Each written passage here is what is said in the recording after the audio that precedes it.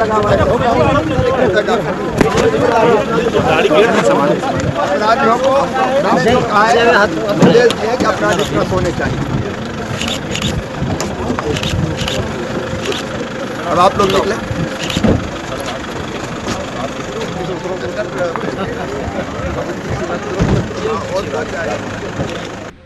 One nation one tax जो मोदी जी ने कहा है इनकी जीएसटी ये जो पाँच अलग अलग टैक्सेस हैं, ये ज़बरदस्त नुकसान करे। इन्होंने भी मुझे बताया यहाँ पे कि जीएसटी ने और नोटबंदी ने इनको खत्म कर दिया है। टांग तोड़ दी है, उनके शब्द हैं, टांग तोड़ दी फाइव लेयर्स की जीएसटी नहीं चल सकती है। 18 परसेंट का कैप कहा था हमने, वो नहीं रखा, उससे नुकसान हो रहा है। सिंपल बात है जीएसटी को रिफॉर्म करने की ज़रूरत है।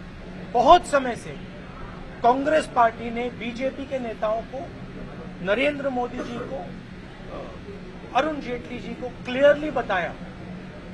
इनफॉर्मली, फॉर्मली, आगे से, पीछे से क्लियरली बताया।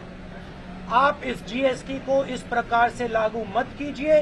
ये राजनीतिक बात नहीं है।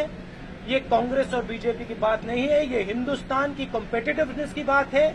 हमें चाइना से कॉम्पिटिटिव कॉम्पिटिटिव होना है। आप हमारे उद्योगों को, हमारे इंडस्ट्रीज़ को मत मारिए। प्लीज़ कृपया करके एक जीएसटी 18 परसेंट वहाँ पे इसको रोकिए। और उसके बाद ये जो तीन चार आप फॉर्म भरवा रहे हैं, ये आप कृपया करके मत करवाइए, छोटे लोग मर जाएँगे। उन्होंने हमें कहा, नहीं, ये 12 बजे होगी। जो जो भी हम रेजिस्टेंस कर सकते थे, और आपने देखा, आप आप प्रेस वाले हमसे पूछते थे कि आप जीएसटी को इतनी आगे क्यों नहीं बढ़ने रहे हैं क्यों रोक रहे हैं, क्यों रोक रहे हैं? ये कारण था कि हम सूरत की रक्षा